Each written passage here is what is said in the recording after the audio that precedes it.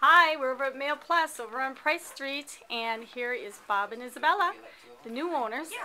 And um, so, what special do you have for the people out there, Bob? Good morning. Good morning. We have a grand opening special Mm-hmm. where you, we ship UPS and FedEx for people here in the area. Uh huh. And there's a 10% off special until Uh-huh. November 1st. Just come in and say you mentioned that you saw the ad on YouTube Uh huh. or on our Facebook site at Mail Plus Pismo Beach. Okay, great, great. And what's your phone number?